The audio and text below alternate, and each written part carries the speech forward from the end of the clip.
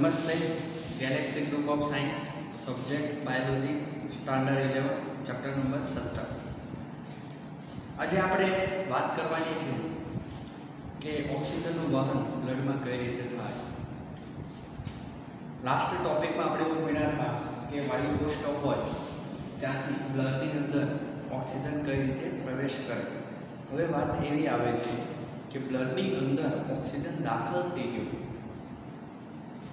એટલે કે પીઓ આંશિક દબાણયુક્ત તો તેનું વહન શરીરની અંદર આવેલા વિવિધ અંગો તેની અંદર આવેલી વિવિધ પેશીઓ પ્લસ તેની અંદર આવેલા કોષો સુધી વહન કઈ રીતે થાય એના વિશે આપણે થોડીક વાત કરીએ આજે તો એવું સમજો કે બાહ્ય નાસિકા છિદ્ર દ્વારા પ્રવેશ કર્યો ઓક્સિજન અને અલગ અલગ શ્વસન તંત્રના પાટમાંથી પસાર થઈને વાયુ કોષ્ઠ સુધી ઓક્સિજન આવ્યો દબાણ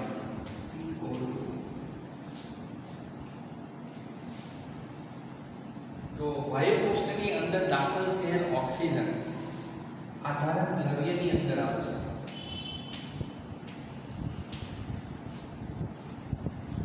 સરખી રીતે પ્રોસેસ સમજજો કે વાતાવરણમાં રહેલો ઓક્સિજન શ્વસન તંત્રમાં બાહ્ય નાસિકા છિદ્ર દ્વારા દાખલ થયો. અને અલગ અલગ પાટમાંથી પસાર થતો થતો અંતમાં વાયુકોષ્ઠ સુધી આવ્યો. તો વાયુકોષ્ઠની અંદર જે ઓક્સિજન ઓક્સિજન આવ્યો એ દબાણ હેઠળ હોવાનો છે. એટલે આપણે પી સંજ્ઞાથી દર્શાવશું પીઓ હવે વાયુકોષ્ઠમાં રહેલો ઓક્સિજનનો અણુ આને ત્રિકોણાકાર રીતે દર્શાવવું જેથી તમને સમજવામાં સરળતા રહે. તો વાયુ કોષ્ઠમાંથી ઓક્સિજન આધારિત દ્રવ્યમાં દાખલ થશે. હવે જે ઓક્સિજનનો અણુ હોય તેને રુધિર કેશિકામાં આવવા માટે અમુક પરિબળો મહત્વનો ભાગ ભજવતું હોય. તો આ જે પરિબળો હોય એ કયા પ્રકારના હોય? તો એનું તમને નામ આપવું તો એક CO2 એટલે કે કાર્બન ડાયોક્સાઇડ એસ પ્લસ એટલે કે હાઇડ્રોજન આયન, અને પ્લસ તાપમાન. આ ત્રણ પરિબળો, એટલે કે પી સીઓ ટુ હાઇડ્રોજન, એટલે કે એસ પ્લસ અને તાપમાન. આ ત્રણેયની સાંદ્રતાના આધારે વાયુ કોષ્ટમાં રહેલો ઓક્સિજનનો અણુ બ્લડની અંદર દાખલ એટલે કે રુધિર કેશિકાની અંદર આવેલા બ્લડમાં દાખલ થાય તો કઈ રીતે થાય એટલે કે પરિબળો હોય એની સાંદ્રતા કેટલી હોવી જોઈએ વધારે હોવી જોઈએ ઓક્સિજન કરતાં કે ઓક્સિજન કરતાં ઓછી હોવી જોઈએ એના આધારે વાયુ કોષ્ઠમાં રહેલો ઓક્સિજનનો અણુ હોય તે બ્લડમાં દાખલ થાય તો જોઈએ આપણે કે વાયુ કોષ્ઠની અંદર આવેલો PO2 નો અણુ આધારકમાં અને ત્યાંથી એને બ્લડની અંદર રુધિર કેશિકામાં દાખલ થવા માટે ત્રણ પ્રકારના પરિબળો બ્લડની અંદર હોવા જોઈએ. એક PCO2 S અને તાપમાન. આ ત્રણે ત્રણ પ્રકારના પરિબળો હોય તેની સાંદ્રતા PO2 કરતાં નીચી હોવી જોઈએ. એટલે કહેવાનો મતલબ એમ કે બ્લડની અંદર PO2 એટલે કે ઓક્સિજનની સાંદ્રતા વધારે હોવી જોઈએ.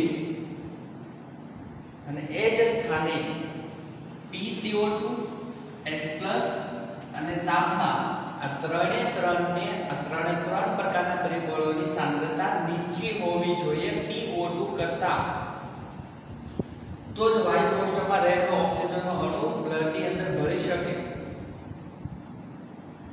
અને તો જ બ્લડની અંદર રહેલા RBC RBC એટલે કે રક્તકણ એની સાથે જોડાઈ શકે આ એક ખાસ અગત્યનો પોઈન્ટ છે. કે માની લો કે ચલો કે વાયુ કોષ્ઠમાં રહેલો ઓક્સિજનનો અણુ બ્લડમાં આવી ગયો. કોઈ પ્રોબ્લેમ નથી. પણ એ જે ઓક્સિજનનો અણુ બ્લડમાં આવ્યો છે, તેને રક્તકણ સાથે જોડાવા માટે પરિબળોનો ખૂબ અગત્યનો ભાગ ભજવે છે. કેવો મતલબ એમ કે બ્લડની અંદર ઓક્સિજનનો અણુ આવી ગયો. એ ઓક્સિજનનો અણુ રક્તકણ સાથે જોડાવા માટે ત્યાં પરિબળો રહેલા હોય, જેમ કે PCO2 હાઇડ્રોજન S+ અને તાપમાન, આ ત્રણે ત્રણની સાંદ્રતા નીચી હશે તો જ ઓક્સિજનનો અણુ રક્તકણ સાથે જોડાઈ શકે. એક વાત હજી ક્લિયર કરવા માંગીએ કે આરબીસી હોય, રક્તકણ, તેની અંદર એક આયન આવેલું હોય, જેને કહેવામાં આવે છે હિમોગ્લોબિન. જેનાથી તમે પરિચિત હશો જ. જેને હું ટૂંકમાં લખી શકું, હિમોગ્લોબિન. આવી રીતે એને લખાય. અને એક આરબીસીનો અણુ ચાર જેટલા ઓક્સિજનના અણુનું વહન કરી શકે છે. આ વાત ચાલે છે વાયુ કોષ પ્લસ રુધિર કેશિકા વચ્ચે જે વાયુની આપલે થાય છે, એ સ્થાનની વાત છે. આ કોઈ પેશીના સ્થાનની વાત નથી. ત્યાં અલગ પ્રોસેસ થશે. સરખી રીતે સમજો લંગ્સ ફેફસામાં વાત થાય છે. કે વાયુ કોષ્ઠમાં રહેલો જે ઓક્સિજન હોય દબાણયુક્ત પીઓટુ, તે બ્લડની અંદર ચલો દાખલ થઈ ગયો. પણ ત્યાંથી તે વહન નહીં કરી શકે. અહીંયા ફેફસા છે અહીંયા ઓક્સિજનનો અણુ આવ્યો. મારે ઓક્સિજનની જરૂરિયાત છે અહીંયા તસલી આંગળીમાં. તો અહીંયાથી, અહીંયા તસલી આંગળીમાં આવેલા કોષો સુધી ઓક્સિજનને પહોંચાડે કોણ? લઈ કોણ જાય? તો કે આરબીસી લઈ જાય રક્તકણ કોને જેવી વાત થઈ એના વિશે થોડીક વાત કરીએ? એક એક્ઝામ્પલ દ્વારા સમજીએ. કે તમે સ્કૂલમાં અભ્યાસ કરો. છો સ્કૂલમાં એક ટૂર ગોઠવવામાં બોમ્બે. પચાસ સ્ટુડન્ટે ટૂરમાં જવા માટે સહમતિ દર્શાવી. અંકલેશ્વર સિટીની જ વાત કરી સ્કૂલનું નામ ગ્લોરિયસ ઇન્ટરનેશનલ સ્કૂલ. આપણે સ્કૂલની જ વાત કરી કાલે સવારે સવારમાં સાત વાગે બોમ્બે જવા નીકળવાનું છે. તમે ડાયરેક્ટ બોમ્બે જશો કે પહેલાં સ્કૂલે આવશો. નહીં જાવ ને ડાયરેક્ટ બોમ્બે નહીં જાવ.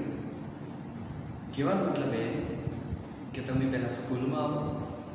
સ્કૂલમાંથી બસ હશે. એ બસની મદદથી તમને બોમ્બે લઈ જવામાં આવશે. સ્કૂલમાં બસ ઊભી છે. બસમાં બેસવા માટે ટ્રાફિક નથી કરવાનું. ત્યાં પણ પરિબળો ભાગ ભજવતો જે વાત થઈ વાયુકોષ એટલે તમારું ઘર છે. રુધિર કેશિકા એટલે તમારી સ્કૂલ થઈ.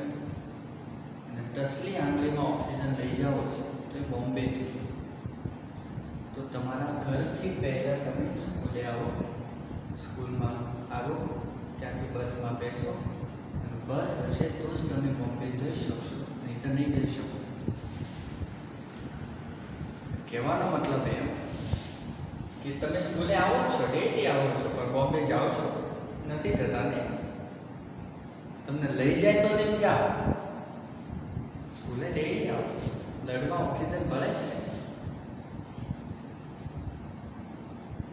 એનો જે ટાર્ગેટ કોષ હોય, ત્યાં ઓક્સિજન જઈ શકતો નથી, એને લઈ જવામાં આવે છે. લઈ કોણ જાય? તો કે આરબીસીનો અણુ રક્તકણ અને એની અંદર આવેલો હિમોગ્લોબિનનો અણુ ખાસ ભાગ ભજવે છે. તો કેવો મતલબ એમ કે બ્લડની અંદર ઓક્સિજનનો અણુ દાખલ થઈ ગયો, આવી ગયો. પણ આરબીસીની અંદર હિમોગ્લોબિનનો અણુ હોય આયન લો લો તો ઓક્સિજનનો અણુ હિમોગ્લોબિન સાથે જોડાય. અહીંયા જોજો, ઓક્સિજનનો અણુ હિમોગ્લોબિન સાથે જોડાય.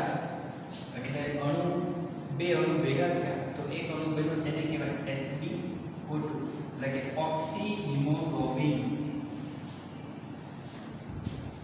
કે વાયુ કોષ્ઠમાંથી ઓક્સિજન, રુધિર કેશિકામાં આવ્યો રુધિર કેશિકામાં ઓક્સિજન દાખલ થાય એટલે તે આરબીસી આરબીસી સાથે જોડાય એટલે કે આરબીસીની અંદર આવેલા હિમોગ્લોબિન સાથે ઓક્સિજનનો અણુ જોડાય એટલે કે ઓક્સિજન અણુ હિમોગ્લોબિન સાથે જોડાય અને ઓક્સી હિમોગ્લોબિનનો અણુ બનાવે.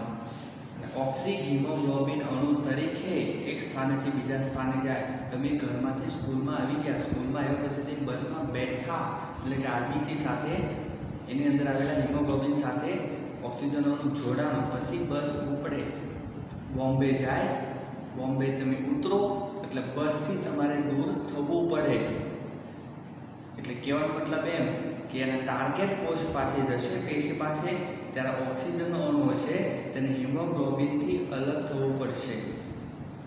એના વિશે પણ આપણે જોઈએ તો પહેલાં અહીંયા જો કે બ્લડની અંદર ઓક્સિજનનો અણુ આવી જાય. તો આરબીસીની અંદર આવેલા હિમોગ્લોબિન સાથે જોડાવા માટે ત્યાં શું પરિબળો ઇફેક્ટ કરતા હોય? તો કે PCO2 હાઇડ્રોજન, આયન એટલે કે H+ અને તાપમાનની સાંદ્રતા ઓછી હશે તો જ ઓક્સિજનનો અણુ હિમોગ્લોબિન સાથે જોડાઈ શકશે. અને એકવાર જોડાઈ ગયો ઓક્સિજનનો અણુ હિમોગ્લોબિન સાથે, એટલે તે બ્લડમાં આરબીસી સાથે વહન કરવા લાગશે. અને જે આપણો પેશી કોષ હશે, ત્યાં એ જશે. તો અહીંયા તમને દર્શાવી કોશિશ કહ્યું કે આ કોઈ પણ એક કોષ દર્શાવવામાં આવ્યો છે. અને આપણી રુધિર કેશિકા છે. ત્યાં ઓક્સિજનનો અણુ આવ્યો છે આવી રીતે. એટલે કે ઓક્સિહિમોગ્લોબિન તરીકે ઓક્સિજનનો અણુ આવ્યો. તો હવે હિમોગ્લોબિનનો અણુ કોષની અંદર દાખલ ના થઈ શકે. તો કહેવાનો મતલબ એમ કે ઓક્સિજનનો અણુ હિમોગ્લોબિન સાથે જે જોડાયેલો છે, તે હિમોગ્લોબિનથી ઓક્સિજનનો અણુ મુક્ત થવો જોઈએ. એટલે કે તે બોમ્બે ઉતરી ગયા, ત્યાંથી તમારે બસમાંથી નીચે ઉતરવાનું છે. તો અહીંયા કેવી, કેવા પ્રકારના પરિબળો ભાગ ભજવે? તો કે પીસીઓ એસ પ્લસ અને તાપમાનની સાંદ્રતા વધારે હશે, તો જ ઓક્સિજનનો અણુ હિમોગ્લોબિનથી છૂટો પડે. સરખી રીતે સમજો અહીંયા સાંદ્રતા ત્રણે ત્રણની નીચી હતી જ્યારે ઓક્સિજનની વધારે હતી. જ્યારે પેશીય પાસે PCO2 S+ અને તાપમાનની સાંદ્રતા સાંદ્રતા વધારે હશે અને ઓક્સિજનની સાંદ્રતા ઓછી હશે, તો જ હિમોગ્લોબિન સાથે, એટલે કે ઓક્સી હિમોગ્લોબિન સ્વરૂપે આવેલો ઓક્સિજનનો અણુ હિમોગ્લોબિનથી મુક્ત થશે અને O2 હોય તે કોષની અંદર દાખલ થશે. આવી રીતે પ્રોસેસ સરખું સમજો અને શ્વસન સપાટી કહેવાય. વાયુ કોષ્ઠ અને રુધિર કેશિકા વચ્ચેનો જે વાયુઓની આપલે હોય તેમને શ્વસન સપાટી તરીકે ઓળખવામાં આવે છે. જ્યારે કોષ અને રુધિર કેશિકા વચ્ચેનો જે સંબંધ હોય વાયુઓની આપલે તેમને પેશીય સપાટી તરીકે ઓળખવામાં આવે છે. તો શ્વસન સપાટી પાસે PO2 ની માત્રા વધારે, સાંદ્રતા વધારે, જ્યારે PCO2 પ્લસ અને તાપમાનની સાંદ્રતા ઓછી હોય તો જ O2 નો અણુ હિમોગ્લોબિન સાથે જોડાઈ જોડાઈ શકે અને ઓક્સી હિમોગ્લોબિન સ્વરૂપે વહન પામશે બ્લડની અંદર. જ્યારે પેશીય સપાટી પાસે પહોંચે ઓક્સી હિમોગ્લોબિનનો અણુ, તો એ સ્થાને બ્લડની અંદર PCO2 plus hydrogen ion S plus plus તાપમાનની સાંદ્રતા વધારે હોય અને પી ઓટુની સાંદ્રતા ઓછી હોય, તો જ હિમોગ્લોબિન સાથે જોડાયેલો ઓક્સિજનનો અણુ મુક્ત થાય અને એ ઓક્સિજન અણુ કોષની અંદર દાખલ થાય, કોષની અંદર અપચય ક્રિયામાં એનો ઉપયોગ થાય અને ઊર્જા ઉત્પન્ન થાય, જે ઉર્જાનો ઉપયોગ આપણે કામ કરવા માટે યુઝ કરતા હોઈએ.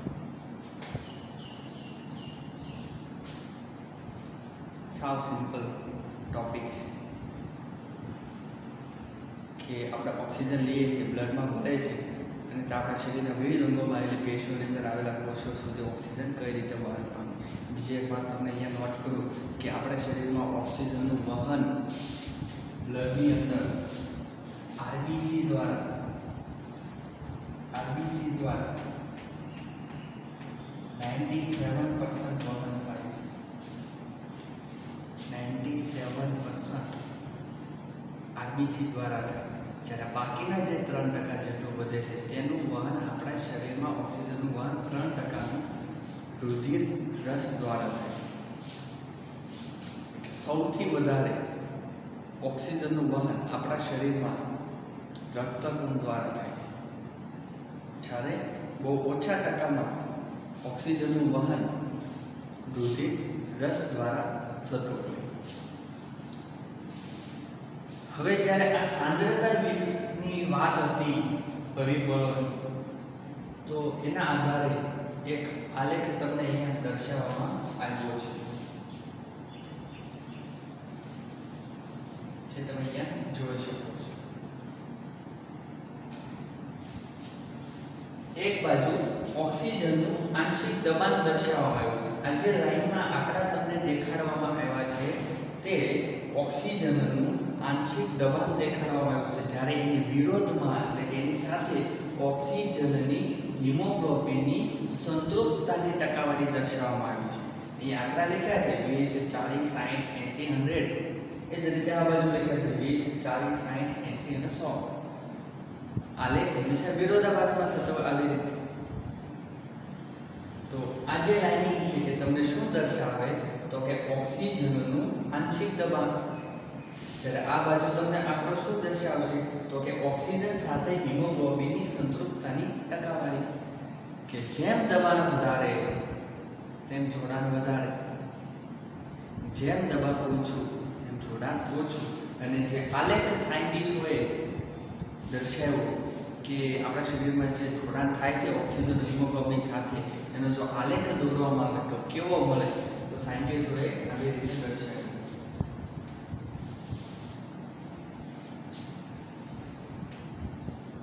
રીતે આલેખ મળે કે જેમ દબાણ ઓછું, તેમ ઓક્સિજનની હિમોગ્લોબિન સાથેની જોડાણ ક્ષમતા ઓછી. પણ જેમ દબાણ વધતું જાય, તમે જોઈ શકો છો, અહીંયા દબાણ ઓછું છે, પણ જેમ તમે આગળ આવો, તેમ દબાણ વધી ગયું. જેમ દબાણ ઓછું હતું, તેમ જોડાણ ક્ષમતા પણ ઓછી હતી. પણ જેમ દબાણ વધ્યું, તેમ ઓક્સિજનની હિમોગ્લોબિન સાથેની જોડાણ ક્ષમતા પણ વધી ગઈ. એટલે કે આલેખ હોય તે તમને એસ આકારનો મળે આપણે ઇંગ્લિશમાં આવી રીતે લખતા હોય તેને આવી રીતે દર્શાવે એટલે કે આને કહેવાય એસ આલેખ અથવા એસ વક્ર તરીકે પણ ઓળખી શકો એસ એટલે સિગ્મોઇડ સિગ્મોઇડ વક્ર કહેવાનો મતલબ એમ કે જ્યારે ઓક્સિજનનું આંશિક દબાણ વિરોધી ઓક્સિજન સાથે હિમોગ્લોબિનની સંતૃપ્તતાની ટકાવારીનો આલેખ દર્શાવવામાં આવે, તો તમને હંમેશા એસ આલેખ એટલે કે એસ વક્ર તમને મળતો હોય. એટલે કે સિગ્મોઇડ પ્રકારનો વક્ર તમને મળતો હોય અને આ આલેખ એ દર્શાવે છે કે આપણા શરીરમાં બ્લડમાં ઓક્સિજનનું વહન આવી રીતે થાય કે જેમ દબાણ વધારે ઓક્સિજનનું BO2 તેમ ઓક્સિજનની હિમોગ્લોબિન સાથેની જોડાણ ક્ષમતા વધારે. તો આ ટોપિકમાં ખાસ યાદ રાખજો, આલેખ પ્લસ અહીંયા ખાસ યાદ રાખજો કે શ્વસન સપાટી પાસે સાંદ્રતા PO2 S પ્લસ અને તાપમાનની સાંદ્રતા ઓછી હોય PO2 ની વધારે હોય, એ જ રીતે થોડુંક અલગ રીતે વાત કરીએ તો જે પેશીય સપાટી હોય, ત્યાં PO2 ની સાંદ્રતા ઓછી હોય, જ્યારે PCO2 S પ્લસ અને તાપમાનની સાંદ્રતા વધારે હોય. હિમોગ્લોબિન ક્યાં હોય તો કે રક્તગણની અંદર હોય. તો ઓક્સિજન અણુ હિમોગ્લોબિન સાથે જોડાય. તો પછી જે બને તેને કહેવામાં આવશે ઓક્સી હિમોગ્લોબિન તો એટલું હતું આ ટોપિકમાં. બહુ ઇઝી ટોપિક હતો અને મજા આવે એવો હતો. તો આને કમ્પ્લીટ તૈયાર કરજો. હવેના નેક્સ્ટ વિડીયોમાં આપણે અભ્યાસ કરશું કે સીઓટોનું વાહન કઈ રીતે time learning. Thank you.